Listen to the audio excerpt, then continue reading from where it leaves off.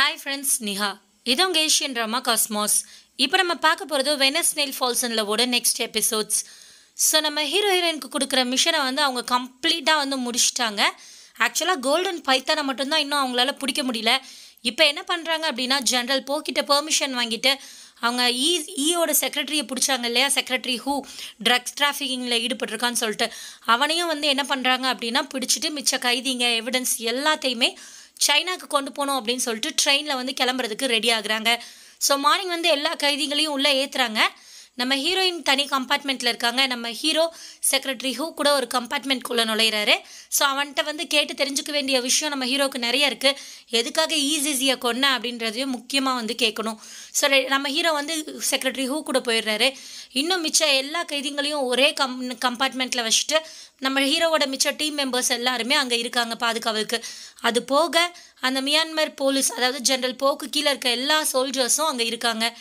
So train புறப்பட்டுறது நம்ம hero வந்து who கிட்ட சொல்கிறாங்க என்ன ரொம்ப சந்தோஷமாக இருக்க போல்? ஏன் கோல்டன் ஷீல்டு கோல்டன் பைத்தான்லாம் எங்களால் பிடிக்க முடியாதுன்னு நினச்சியா? உனக்கு ஒரு விஷயம் தெரியுமா? நீ சொல்லாட்டா எங்களுக்கு தெரியாதா? கோல்டன் ஷீல்டு எங்கே இருக்கான்னு தெரியும். நீ வந்து ட்ரக் டிராஃபிக்கிங்கில் ஒரு சின்ன பூச்சி மாதிரி தான் உன்னையெல்லாம் இயக்கிற பெரிய ஆள் அவன் தான் எங்களுக்கு தெரியும். எங்களோட இன்னொரு டீம் அவனை பிடிக்க தான் போயிருக்கு. நீ சொல்லாட்டா எங்களால் ஒன்றும் கிழிக்க முடியாதுன்னு நினச்சிட்ருக்கியாடா அப்படின்னு சொல்லி நம்ம ஹீரோ வந்து ஏசுறாரு. அதே சமயம் நம்ம கமிஷனருக்கு ஃபோன் பண்ணி கேட்குறாரு கமிஷனர் சொல்லிடுறாரு இன்னொரு டீம் போயிருக்கு அப்படின்னு. இப்போ நம்மளுக்கு காமிக்கிறாங்க இப்போ இவன் கண்ணாடி போட்டிருக்கான் இல்லையா? இவன் தான் கோல்டன் ஷீல்டு ஸோ இவன் தான் வந்து இங்கே ஃபுல்லாக வந்து சைனா மியான்மர் பர்மான்னு எல்லா இடத்துலையும் வந்து ட்ரக் டிராஃபிக்கிங்கோட ஹெட்டு வந்து அவன் தான். இப்போ தப்பிச்சு போயிட்டுருக்கான். ஸோ நம்ம ஹீரோ கமிஷனருக்கு கால் பண்ணி இன்ஃபார்ம் பண்ணோடனே கமிஷனர் சொல்கிறாரு நம்ம டீம் அங்கே போயிட்டு தான் இருக்குது நீ கவலைப்படாத அப்படின்னு சொல்லிட்டு. அது மட்டும் இல்லாமல் உன் டீம் மட்டும்தான் அங்கே போயிட்டு கொடுத்த மிஷன் எல்லாத்தையும் கம்ப்ளீட் பண்ணிட்டு வந்திருக்கீங்க. அதுவே எனக்கு பெருமையாக இருக்குது பார்த்து பத்திரமா வாங்க அப்படின்னு சொல்லி சொல்லிடுறாப்புல. அதே சமயம் இங்கே நம்ம ஹீரோயின் என்ன பண்ணுறாங்க அப்படின்னா அப்போ தான் ஃப்ரீ டைம் கிடச்சிதுன்னு சொல்லிட்டு இங்கேருந்து அந்த ஷாலன் அதாவது அந்த வில்லி வந்து நம்ம சைனாலேருந்து ஹீரோயினை யாமைங்க ஜாகன் எல்லாம் சுட்டுட்டு ஹீரோயினை ஏமாற்றிட்டு போவா இல்லையா? ஸோ பர்மாவோட பார்டரை தாண்டி மியான்மருக்குள்ளே நுழைவா இல்லையா? ஸோ அப்போ வந்து நிறைய சோல்ஜர்ஸ் இறந்து போயிடுவாங்க. அதை கொன்னது வந்து ஜென்ரல் போ தான். அது இன்னும் யாருக்கும் தெரியாது. அந்த வீடியோவை வந்து நம்ம ஹீரோயின் பார்த்துட்டு இருப்பாங்க ஸோ இவ்வளோ சோல்ஜர்ஸ் வந்து இறந்துருக்காங்கன்னு கா கேமராவில் காட்டியிருக்காங்க ஃபோட்டோ இருக்குது அப்போ இந்த சோல்ஜர்ஸ் எப்படி இறந்தாங்க? இவ்வளோ பேரும் வந்து இறந்து போகிறாங்க அப்படின்னா யாராவது ஒளிஞ்சிருந்து நிறைய பேர் சுட்டிருக்கணும். அங்கே நிறைய பேர் இருந்ததுக்கான தடையும் இல்லை. அப்போ அவங்க நம்பின ஒரே ஆள் சுட்டிருக்கணும். அப்போ ஏன் அது வந்து அந்த ஜென்ரலாக இருக்கக்கூடாது அப்படின்னு யோசிக்கிறாங்க. அதே சமயம் நம்ம ஹீரோயினை வந்து வெளியே இருந்து அப்படியே ஒளிஞ்சிருந்து பார்த்துட்டு ஜென்ரல் போ உள்ளே வரான். வந்துட்டு கேட்குறான் என்ன பண்ணிட்டு இருக்க குட்டி பொண்ணு அப்படின்னு? உடனே நம்ம ஹீரோயின் இல்லை ஒன்றும் பண்ணல அப்படின்னு சொல்லிட்டு தலையை குனிஞ்சுக்கிறாங்க. டக்குன்னு அவன் கேட்குறான் என்ன என் மேலே கோபமாக இருக்க போல? சரி நானும் நேற்று உன்னைய பயமுறுத்திட்டேன். உன் கண்ணு முன்னாடி வந்து அவனை சுட்டிருக்க தான் அந்த குற்றவாளியை. ஆனால் நான் சொன்ன மாதிரி நான் தான் எல்லா முடிவும் எடுப்பேன் அப்படின்றான். உடனே நம்ம ஹீரோயின் நீங்கள் இப்படி சொன்னதே போதும். இனிமே வந்து இந்த மாதிரி ஒரு தப்பு நடக்காமல் பார்த்துக்கோங்க அப்படின்னு சொல்கிறாங்க உடனே ஜென்ரல் போ வந்து சொல்கிறான் ஓகே ஓகே அதை பார்த்துக்கலாம் அப்புறம் உங்கள் பாஸ் என்ன ஆளையே காணும் அப்படின்ட்டு டக்குன்னு நம்ம ஹீரோயினுக்கு ஏற்கனவே ஒரு டவுட் இருக்குது ஸோ போட்டு பார்க்கலாம் விஷயத்த அப்படின்ட்டு என்ன பண்ணுறாங்கன்னா இல்லை என் பாஸ் வந்து இப்போ செக்ரட்டரி ஹூ கூட பேசிகிட்டு இருப்பாருன்னு நினைக்கிறேன். எங்கே இருக்காருன்னு தெரில ஆனால் எனக்கு ஒரு விஷயம் தெரியும். என் பாஸ் அடிக்கடி சொல்லுவார் என்ன அப்படின்னா பர்மிஸ் பைத்தான் அதாவது அந்த கோல்டன் பைத்தான் வந்து ரொம்ப மோசமானவன் சொல்லுவார். அதுவும் இல்லாமல் அவன் வந்து ரொம்ப விஷம் கக்கிற நாகம் மாதிரின்னு சொல்லுவார் அப்படின்றாங்க. டக்குன்னு ஜென்ரல் போ சொல்கிறான் பரவாயில்லையே பேர் பை பர்மீஸ் பைத்தான் கோல்டன் பைத்தானா அந்த பேர் எனக்கு பிடிக்கல. ஆனால் அவங்க பாஸ் சொன்ன எக்ஸ்ப்ளனேஷன் நல்லாயிருக்கு ரொம்ப விஷம் கக்கிற நாகம் மாதிரியா? என்னமோ அது வேணால் ஏற்றுக்க வேண்டிய விஷயம் தான் அப்படின்னு சொல்லி நக்கலாக சிரிச்சிட்டு போகிறான் ஸோ நம்ம ஹீரோயினுக்கு ஒரு மாதிரி யோசனையாகவே இருக்குது உடனே வந்து நம்ம ஹீரோயினுக்கு என்ன தோணுது அப்படின்னா ஒருவேளை இவனுக்கும் அந்த கோல்டன் பைத்தானுக்கும் சம்மந்தம் இருக்குமோ இல்லை இவனே தான் கோல்டன் பைத்தான் அப்படின்னு யோசிச்சுட்டு வெளியே வந்து அவசரமாக வந்து நம்ம ஹீரோ கிட்ட இந்த சந்தேகத்தை சொல்லணும்னு சொல்லி எட்டி பார்க்குறாங்க. அந்த கப் காரிடார் ஃபுல்லாக வந்து யாருமே இல்லை. அடுத்த சீனில் ஒரு வித்தியாசமான இடத்த காமிக்கிறாங்க. அந்த இடம் வந்து ஒரு சின்ன மோட்டல் மாதிரி இருக்குது அங்கே வந்து நிறைய பேர் கூட்டமாக இருக்காங்க. அங்கே இருக்க லேடி கிட்ட வந்து ஒருத்தன் வந்து கேட்குறான் என்ன தலைவர் வந்துட்டாரா அப்படின்னு. ஆக்சுவலாக அந்த இடத்துல யார் பதுங்கியிருக்கா அப்படின்னா கோல்டன் ஷீல்டு வந்து அங்கே வந்து பதுங்கியிருக்கான் ஸோ நம்ம கமிஷனருக்கு நம்ம ஹீரோ இடத்த சொன்னார் இல்லையா? நம்ம கமிஷனர் டீம் அனுப்பியிருக்காரு. ஸோ நம்ம கமிஷனரோட டீம் வந்து அங்கே வந்து அந்த கோல்டன் ஷீல்டு வந்து பிடிச்சிடுறாங்க. கமிஷனரே நேராக வந்திருக்காரு. அவன்கிட்ட என்ன சொல்கிறாரு அப்படின்னா நீ பண்ண தப்புக்கள்லாம் அவனுக்கு தண்டனை கிடைக்கும். எங்களால் வந்து கோல்டன் பைத்தானையும் பிடிக்க முடியாது. நீ பெரிய இவான்னு நினச்சிக்காத. இதே வந்து ரொம்ப வருஷத்துக்கு முன்னாடி எங்கள் சைனீஸ் போலீஸ் ஆஃபீஸர் ஒருத்தர் வந்து உன்னைய பார்க்க வந்தார் ஷோஹன் சொல்லிட்டு. அவர் வந்து நீ உயிரோட விட்டு வச்சியா? அப்படின்னு சொல்லி கேட்குறப்பல உடனே கோல்டன் ஷீல்டு சொல்கிறான் ஆமாண்டா அவன் வந்து செத்து போயிட்டான். ஆனால் அவங்க சைனீஸ் போலீஸ் ஆஃபீஸர்ஸ்க்கெலாம் பயமே கிடையாதா? சாகிறத பற்றி துளி கூட யோசிக்க மாட்டீங்களா? அப்படின்னு டக்கு நம்ம கமிஷனர் சொல்கிறாரு நாங்கள் மிஷனை கம்ப்ளீட் பண்ணுறதுக்காக சாக கூட செய்வோண்டா அப்படின்றப்பல ஸோ நீதி நேர்மை நியாயம்னு சொல்லி கோல்டன் ஷீல்ட பேசி கோல்டன் ஷீல்டை பிடிச்சி அமுக்கி கொண்டு போயிடுறாங்க. அதே சமயம் இங்கே நம்ம ஹீரோயின் ஷூஷு என்ன பண்ணுறாங்க அப்படின்னா அவசரப்பட்டு கம்பார்ட்மெண்ட்டுக்கு திரும்பி போயிட்டு அங்கே வந்து நோட் புக்ஸ்லாம் அனலைஸ் பண்ணி எழுதி வச்சுருப்பாங்களே அதை பார்க்குறாங்க அப்போ தான் நம்ம ஹீரோயினுக்கு தோணுது. ஆக்சுவலாக இப்போ ஜென்ரல் போ எதுக்கு நம்ம கூட வரணும்? அதே மாதிரி அன்னைக்கு நிறைய வீரர்கள் செத்து போயிருந்தப்ப இவன் தான் சுற்றுப்போனோம் அப்படின்னு வேற நான் சந்தேகப்பட்டேன். இப்போ அவன் எதுக்கு சைனாக்கு வரான்? தப்பிச்சு வரானா இங்கேருந்து? இங்கேருந்து அவன் தப்பிச்சு வரணும்னு அவசியம் இல்லையா. அவனுக்கு வந்து பயங்கரமான சோல்ஜர்ஸ் வந்து அவனுக்கு கீழே கட்டுப்பட்டு இருக்காங்க. பயங்கரமான பவர் இருக்குது அப்போ இவன் தப்பிக்கலனா அப்போ யார் தப்பிப்பா? ஒருவேளை அந்த வில்லி ஷாயன் தப்பி தப்பிப்பாளோ? அவனும் இவளும் வந்து ஒருவேளை பார்ட்னராக இருப்பாங்களோ? இவன் அப்படியே இருந்தால் மட்டும்தான் இவன் வந்து அன்னைக்கு வந்து பர்மிஸ் சோல்ஜர்ஸையே சுட்டு கொண்டுட்டு பர்மிஸ் பார்டர் அவள் காட்டுக்குள்ளே தாண்டி வரப்ப அவளை காப்பாற்றிருப்பான் அது மட்டும் இல்லாமல் இப்போ இவன் பாதுகாப்பில் அவள் தப்பிப்பாளாக இருக்கும். எப்படி இவன் அவளை கூட்டிகிட்டு தான் வந்திருப்பான்? ட்ரெயின்குள்ளே அவள் கட்டாயம் இருக்கணும் அப்படின்ற டவுட்டு நம்ம ஹீரோயினுக்கு உறுதியாகுது. ஸோ டக்குன்னு கமிஷனருக்கு ஃபோன் பண்ணி இந்த மாதிரி பார்த்தீங்களா நான் நினச்சது கரெக்டாக இருக்குது கோல்டன் பைத்தான் வந்து ஜென்ரல் போதான். ஜென்ரல் போதான் கோல்டன் பைத்தான்னு சொல்கிறாங்க உடனே கமிஷனர் நீ பார்த்து கவனமாக இரு. சீக்கிரம் போய் ஜிபாய் கிட்ட சொல்லு. நான் இன்னொரு டீமை இப்போவே பார்டர் பெட்ரோலில் வந்து அங்கே வர சொல்கிறேன் அப்படின்னு அனுப்பிடுறாரு. கோல்டன் ஷீல்டை அரெஸ்ட் பண்ணி இழுத்துட்டு போகிறப்பமே நம்ம கமிஷனர் வந்து நம்ம ஹீரோயின் கிட்ட சொல்லிடுறாரு. கவனமாக இருங்க நான் பெட்ரோலை அனுப்புகிறேன்னு சொல்லிட்டு ஸோ கமிஷனர் வந்து சொன்ன மாதிரியே இன்ஃபார்ம் பண்ணி பேட்ரோலை வந்து நம்ம ஹீரோ ஹீரோயினோட ட்ரெயின் போயிட்டுருக்க இடத்துக்கு அனுப்பி விட்டுறாரு.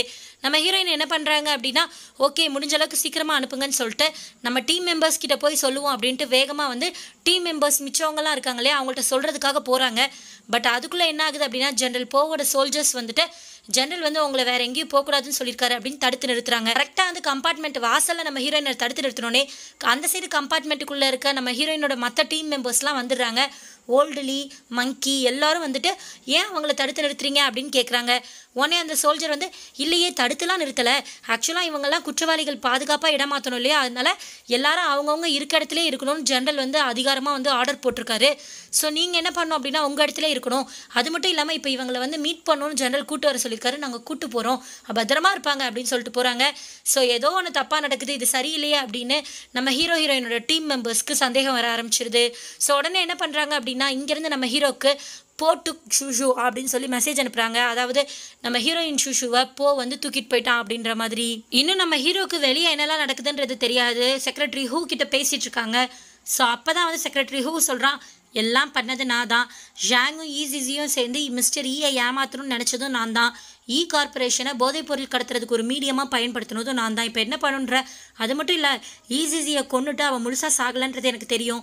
நான் தான் என்ன பண்ணேன்? நீ யாருக்குமா மெசேஜ் பண்ணணும்னு ஆசைப்படுற? என்ன ஜிபாய் தானே உனக்கு ரொம்ப பிடிக்கும். அவனுக்கு நான் மெசேஜ் பண்ணுறேன்னு சொல்லி அவள் சா செத்துக்கிட்டு இருக்கப்போ அவள் ஃபோனை எடுத்து மெசேஜ் பண்ணதும் நான் தான். இப்போ என்ன பண்ணுன்ற?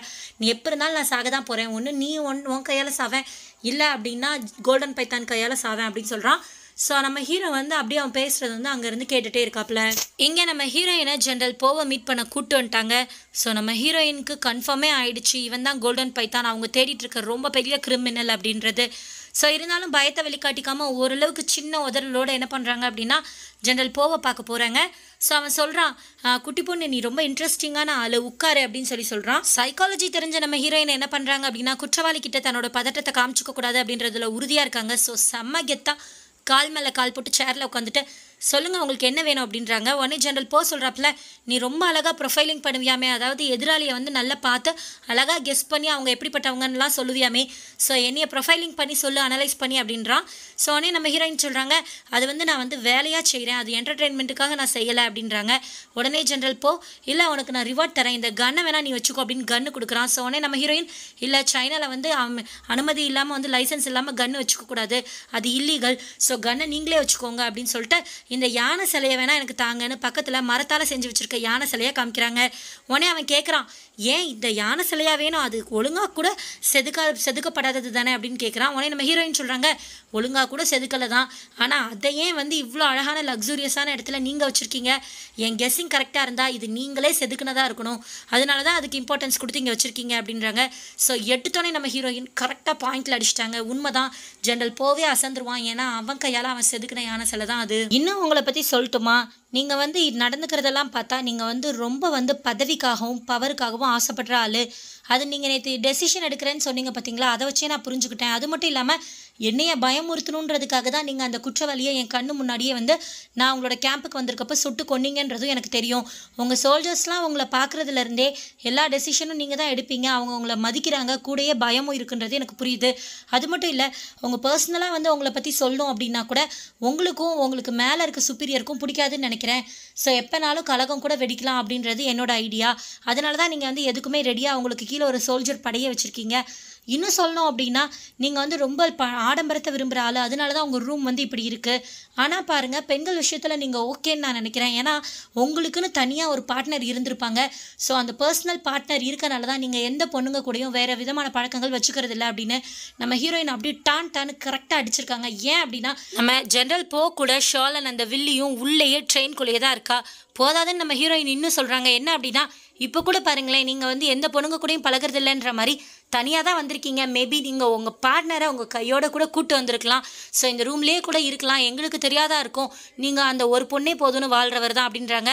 ஸோ அது எல்லாமே அப்படி ஹண்ட்ரட் பர்சன்ட் உண்மை. ஸோ ஜென்ரல் போ வந்து இதுக்கு மேலே இவ்வளோ பேச விடக்கூடாதுன்ட்டு நீ இப்போ ரூமுக்கு போ அப்புறம் பார்த்துக்கலான்னு சொல்லிட்டு உள்ளே போகிறான் உள்ள அந்த கம்பார்ட்மெண்ட்குள்ளேயே தனியாக வந்து ஒரு ரூம் மாதிரி செஞ்சு அதுக்குள்ளே யாரை வச்சுருக்கான் அப்படின்னா ஷாலனை.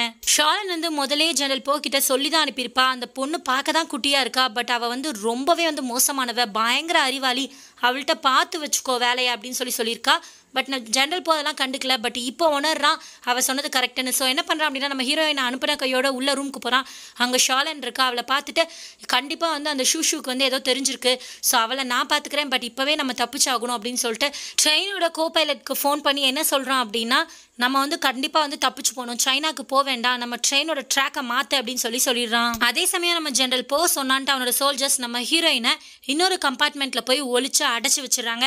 நம்ம ஹீரோயினுக்கு தப்பிக்கவே வழி தெரில எப்படியாவது ஜிபாய் கிட்ட சொல்லணும் நம்ம ஹீரோ கிட்ட சொல்லணும்னு நினச்சாலும் அவங்களுக்கு சொல்லவும் முடியல. ஏன்னா அவங்க மொபைல் அவங்க கையில் இல்லை. நம்ம ஹீரோயினை அவங்களால காரியம் ஆகணும் அப்படின்றதுக்காண்டி நம்ம ஜென்ரல் போ வந்து அடைச்சி வச்சிருக்கான். ஆனால் இங்கே எதுவுமே தெரியாமல் நம்ம ஹீரோ வந்து இவ்வளோ நேரம் செக்ரட்டரி ஹூ சொன்ன கதையை கேட்டு அப்போ தான் வெளியே வராரு. அப்போ தான் வந்து அந்த மெசேஜை பார்க்குறாரு ஷூ ஷூ வந்து இல்லை அவங்கள வந்து அந்த சோல்ஜர்ஸ் கூட்டு போயிட்டாங்க. ஜென்ரல் போ கூப்பிட்டான்னு சொல்லி அப்படின்ட்டு. ஸோ நம்ம ஹீரோக்கு டவுட் வருது. டக்குன்னு என்ன பண்ணுறாரு அப்படின்னா ஃபுல்லாக அந்த கம்பார்ட்மெண்ட்டையும் பார்க்குறாரு ஒரு சின்ன அரவம் கூட இல்லை. என்ன ஆச்சுன்னு பார்த்தா ஜென்ரல் போ வந்து கமெண்ட் பண்ணியிருப்பான். ஸோ சைனீஸ் போலீஸ் ஆஃபீஸர்ஸ் எல்லாத்தையும் பிடிச்சிருங்க நகரவே விடாதீங்க அப்படின்ட்டு. ஸோ அவனுக்கு கீழே இருக்க எல்லா சோல்ஜர்ஸ்க்கும் போ கெட்டவன்றது தெரியாது. உடனே அவன் சொன்னபடி செய்யணும் அப்படின்றதுக்காக என்ன பண்ணுறாங்கன்னா நம்ம ஹீரோட டீமை ஃபுல்லாக வந்து கன் பாயிண்ட்ல நிறுத்துறாங்க. திடீர்னு நம்ம ஹீரோக்கு தலை சுத்து வருது. ஷோகனுக்கு ரத்தம் கொடுத்ததுலேருந்தே நம்ம ஹீரோக்கு உடம்பு சரியில்லாமல் போயிடுச்சு. ஸோ தலை சுத்து அதிகமாக இருக்கு. இருந்தாலும் வந்து மேனேஜ் பண்ணி எழுந்து நிற்கிறாரு கன்னோட ரெடியாக இருக்காரு. எந்த சோல்ஜர்ஸ் என்ன சத்தம் கேட்டாலும் பார்த்துக்கலாம் அப்படின்ட்டு. ஸோ அப்படியே கண்ணோட நடந்து வராரு. அப்போ பார்த்து ரெண்டு சோல்ஜர்ஸ் எதிர்த்தாக்கில் வராங்க. வந்தவங்க நம்ம ஹீரோக்கோட சண்டை போடுறாங்க. சண்டை போட்டுட்டு இருக்க சமயத்தில் கரெக்டாக நம்ம ஹீரோயினை அடைச்சி வச்சிருக்க அந்த கம்பார்ட்மெண்ட் வாசலுக்கே நம்ம ஹீரோ வந்துடுறாரு. சத்தம் கேட்டோடனே உள்ளே இருக்க நம்ம ஹீரோயின் என்ன பண்ணுறாங்கன்னா ஷிஃபோ நான் உள்ளே இருக்கேன் அப்படின்னு சொல்லி கதவை தட்டுறாங்க. ஸோ நம்ம ஹீரோ என்ன பண்ணுறாரு டக்குனு கதவை உடச்சு நம்ம ஹீரோயினை வெளியே கூட்டு வந்துடுறாப்ல வெளியே வந்தோடனே நம்ம ஹீரோக்கு திருப்பியும் வந்து ஏற்கனவே சண்டை போட்டனாலையும் தலை சுத்தல் இருந்தனாலையும் ரொம்ப தலை சுத்தலாக இருக்குது அதுக்குள்ளே இங்கே நம்ம ஹீரோட டீம் மெம்பர்ஸ் என்ன பண்ணுறாங்க அப்படின்னா கன் பாயிண்ட்ல நிறுத்தி இந்த சோல்ஜர்ஸை அடிச்சு அதகலம் பண்ணி அந்த சோல்ஜர்ஸோட கன்னை பிடுங்கி இப்போ சோல்ஜர்ஸை கன் பாயிண்ட்ல வச்சிருக்காங்க. பட் அதுக்குள்ளே என்ன ஆகுது அப்படின்னா கமிஷனர் கிட்ட இருந்து ஜெனரல் போ கெட்டவன் அப்படின்ற இன்ஃபர்மேஷன் பர்மிஸ் சோல்ஜர்ஸ்க்கு போயிருது. ஸோ பர்மிஸ் சோல்ஜர்ஸோட சுப்பீரியர் என்ன பண்ணுறாரு அப்படின்னா சோல்ஜர்ஸ்க்கு கால் பண்ணி ஜெனரல் போ வந்து ஒரு துரோகி அவனை நம்பாதீங்கன்னு சொல்லி சோல்ஜர்ஸ் சொல்லிடுறாப்ல. இந்த விஷயம் எல்லாம் குற்றவாளிகள் இருக்க கம்பார்ட்மெண்ட்ல நடந்துட்டு இருக்கு இது எதுவுமே தெரியாம நம்ம ஹீரோ வந்து நம்ம ஹீரோயினை இழுத்துட்டு ஓடுறாரு. அவங்க பின்னாடி எந்த விஷயமும் தெரியாத ஒரு குரூப் ஆஃப் சோல்ஜர்ஸ் வந்து துரத்திட்டு வராங்க. ஸோ நம்ம ஹீரோக்கு என்ன பண்ணுறதுனே தெரில ஏன்னா அளவுக்கு மீறி சோல்ஜர்ஸ் வந்துட்டாங்க. துப்பாக்கியே கையில் இருந்தாலும் எத்தனை பேரை சுட முடியும்? நம்ம ஹீரோ என்ன பண்ணுறாரு அப்படின்னா துப்பாக்கியை வச்சு குறிப்பாக்குறாரு நம்ம ஹீரோயின் நம்ம ஹீரோவோட பின்னாடி இருக்காங்க. இப்போ நம்ம ஹீரோயினுக்கு வந்து பயம் வந்துடுது என்ன பண்ணுறாங்க அப்படின்னா ஒருவேளை இறந்து போனால் கூட இவர் கூடயே இருந்துடணும் அப்படின்னு சொல்லிட்டு நம்ம ஹீரோயின் அப்படியே மெல்ல நம்ம ஹீரோவை நெருங்கி அவரோட முதுகில் தோல் தோலில் அப்படி கை வச்சு தலை சாச்சுக்கிறாங்க ஸோ நம்ம ஹீரோவுக்கு வந்து அப்போ தான் வந்து உணர்றாரு ஒரு ஒரு ஸ்பரிசத்தை. அப்போ என்ன ஃபீல் பண்ணுறாரு அப்படின்னா இப்போ இவ இருக்கா இவளையும் காப்பாற்றணும் அதுவும் இல்லாமல் இப்போ இவ ரொம்ப பயந்து போய் இருக்கா அப்படின்ற அந்த லவ் ஃபீலிங் நம்ம ஹீரோவுக்கு அதிகமாகவே வருது. ஸோ நம்ம ஹீரோயின் ரொம்ப பயந்து போய் அப்படி வந்து பார்க்குறாங்க என்ன ஆகுமோ அப்படின்னு நம்ம ஹீரோ வர்ற வரைக்கும் வாங்கடா பார்க்கலாம் அப்படின்னு துப்பாக்கியை ஓங்குறாரு அதுக்குள்ளே இங்கே கம்பார்ட்மெண்ட்டில் எல்லாருக்கும் வந்து தெரிஞ்சு போச்சு ஜென்ரல் போ வந்து ஒரு துரோகி அப்படின்னு. ஸோ அதே இன்ஃபர்மேஷன் இப்போ நம்ம ஹீரோவை துரத்திட்டு இருக்க சோல்ஜர்ஸ்க்கும் சொல்கிறாங்க டக்குன்னு அந்த சோல்ஜர்ஸ் என்ன பண்ணுறாங்கன்னா துப்பாக்கியை கீழே இறக்கிடுறாங்க. ஸோ நம்ம ஹீரோக்கோட துப்பாக்கிக்கும் வேலை இல்லை. ஆனால் ஜென்ரல் போ அவனால் தப்பிக்க என்னெல்லாம் பண்ண முடியுமோ அதெல்லாம் பண்ண ஆரம்பிக்கிறான். அந்த நேரத்தில் ட்ரெயின் ரொம்ப வந்து ஷேக் ஆகுது. என்ன காரணம் அப்படின்னு சொல்லிட்டு நம்ம ஓல்டுலி எல்லாரும் வந்து நம்ம ஹீரோவோட மித்த டீம் மெம்பர்ஸ் வந்து போய் பார்க்க போகிறாங்க திடீர்னு கம்பார்ட்மெண்ட் கதவை திறந்து பார்த்தா அந்த பாக்ஸுக்கு பின்னாடி வேற எந்த கம்பார்ட்மெண்ட்டுமே இல்லை. எல்லா கேரேஜையும் ஜென்ரல் போ என்ன பண்ணிட்டான் அப்படின்னா கலத்தி விட சொல்லிட்டான். ஸோ ஃபர்ஸ்ட் ரெண்டு இன்ஜினும் இன்ஜினுக்கு அடுத்தாக்கில் இருக்க ஒரே ஒரு கம்பார்ட்மெண்ட் அதாவது ஜென்ரல் போ நம்ம ஹீரோ ஹீரோயின் இருக்க அந்த கம்பார்ட்மெண்ட் மட்டும்தான் வந்து ட்ராக்ல போயிட்டு இருக்கு. மிச்சம் மொத்தமும் அதாவது மற்ற எவிடன்ஸு மற்ற சோல்ஜர்ஸ் நம்ம ஹீரோவோட டீம் எல்லாரும் இருக்க மிச்சம் எல்லா கம்பார்ட்மெண்ட்டும் தனியாக நின்றுச்சு. இப்போ நம்ம ஹீரோயின் நம்ம ஹீரோ கிட்ட என்ன சொல்கிறாங்க அப்படின்னா இவ்வளோ நேரம் நம்ம ஹீரோ கிட்ட எந்த விவரமும் சொல்ல டைம் இல்லை இல்லையா? இப்போ சொல்கிறாங்க நீங்கள் நினச்ச மாதிரி ஜென்ரல் போ தான் வந்து கோல்டன் பைத்தான் அது மட்டும் இல்லாமல் இப்போ அவன் தப்பிச்சு போகணும்னு நினைக்கல அவனோட லவ்வர் அவனோட ஒய்ஃப் மாதிரி நடந்துட்டு இருக்க வில்லி ஷோலன் தான் தப்பிச்சு போகணும்னு நினைக்கிறா அப்படின்னு. ஸோ அது நூறு சதவீதம் உண்மை. இங்கே கம்பார்ட்மெண்ட்குள்ள நம்ம ஷோலன் வந்து நம்ம ஜென்ரல் போக்கிட்ட என்ன சொல்கிறான் அப்படின்னா இப்போதைக்கு நம்ம தப்பிச்சு போயிடலாம் அப்புறம் மிச்சம் எல்லாத்தையும் பார்த்துக்கலாம் சைனீஸ் போலீஸ் கையில் மாட்ட வேண்டாம் வாங்க அப்படின்னு கூப்பிடுறா. அதே சமயம் இப்படி தனியாக கம்பார்ட்மெண்ட்டில் ஷூஷுவை வச்சுட்டு நிற்கிறது தப்பு அப்படின்னு நினச்சி நம்ம ஹீரோ என்ன பண்ணுறாரு அப்படின்னா டக்குன்னு ஒரு கம்பார்ட்மெண்ட்டுக்குள்ளே நம்ம ஹீரோயினை தள்ளி அவரும் உள்ளே போயிடுறாரு. ஸோ உள்ளே போனவர் எப்படியாவது நம்ம ஹீரோயினை தப்பிக்க வைக்கணும்னு நினைக்கிறாரு.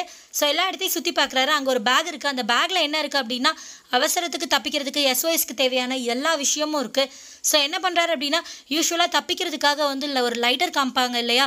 வித்தியாசமாக வந்து புகையாக வரும். அதை பார்த்தோன்னே எங்கே இருந்தாலும் வந்து ஆபத்துன்னு நினச்சி அங்கே இருக்கவங்களை காப்பாற்றுறதுக்கு டீம் ஸ்குவாட் எல்லாம் வரும். ஸோ அது எல்லாமே வந்து தப்பிக்க தேவையான எல்லா பொருளும் இருக்குது ஸோ உடனே நம்ம ஹீரோ என்ன பண்ணுறாரு அதையும் பார்த்துட்டு நம்ம ஹீரோயினையும் பார்க்குறாரு. டக்கு நம்ம ஹீரோயின் முடியாது முடியாது முடியவே முடியாது அப்படின்னு அழுகிறாங்க அழுறாங்க அவங்களுக்கு தெரிஞ்சிருச்சு நம்ம ஹீரோ என்ன நினைக்கிறாருன்னா நம்ம ஹீரோயினை வெளியே தப்பிக்க வச்சிடணும்னு நினைக்கிறாரு அப்படின்றது.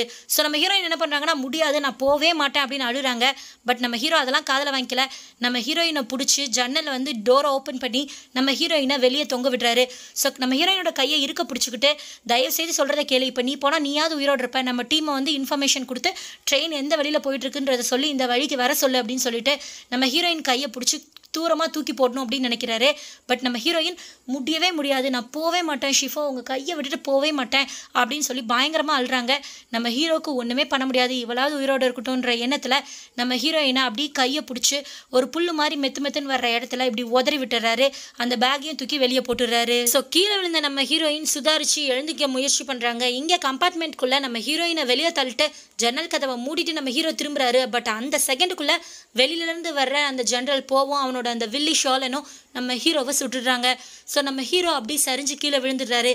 இங்கே வெளியே நம்ம ஹீரோயின் அப்படியே துடிச்சு போய் என்ன பண்ணன்னு தெரியல விழுந்து அவன் உயிருக்கு ஏதாவது ஆபத்து வந்துருமோ அப்படின்னு பயந்து ஜி பாய் ஜி பாய்னு சொல்லி கத்த ஆரம்பிக்கிறாங்க.